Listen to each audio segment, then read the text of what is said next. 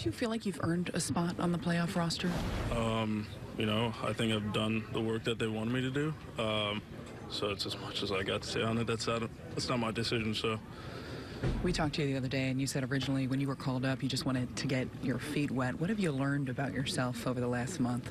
Um, just that, uh, you know, if I get ahead of guys, it's kind of like the same style of baseball. Like, just get my ground balls or I get my strikeouts once I get ahead.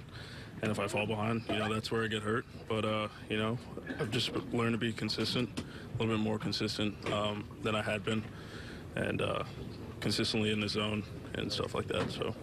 Have you talked to anybody back in that in that bullpen? Kind of picked their brain a little bit, guys that have been here for a while. Have you leaned on anybody? Oh yeah, like uh, every day actually, I'm kind of asking about something different. Um, but yeah, these guys are real helpful. So you know that always helps a lot. And uh, I've just kind of gotten used to you know going out there and knowing my role. So uh, it's just been a lot of like kind of transforming myself into that person right now, and then just getting comfortable doing it. So. How much would it mean to be on the roster Wednesday night? I mean, like I said, it would be a dream, honestly. But uh, you know, like I said, it's out of my control. I did what I had to do, and I did my job. So, um, you know, I'll let the cards play. You had that first rough outing. Was that difficult to get past, considering it was your first major league Uh, try?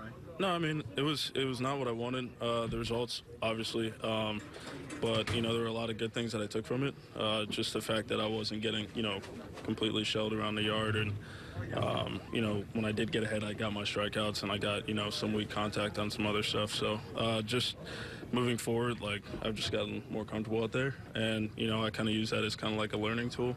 And now that I've gotten a little bit more comfortable out there, I just feel, you know, I'm back to where I was. Has your confidence increased a lot since day one up here? Yeah, oh yeah. And I think, you you know, that kind of goes for everybody um, that I've talked to. It's just kind of like you get that first one out of the way and then you kind of get settled in. So that's where I'm going right now and I'm going to keep working towards that.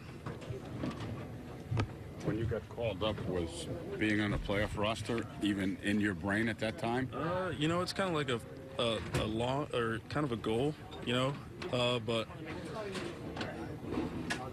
you know, it, it what, what's, what's the word I'm looking for? Um, something I dream of, but yeah, like it's something that I obviously work, am working towards and have been, but, uh, you know, like I said, it's kind of out of my hands, so it's a decision that's to be made by somebody else.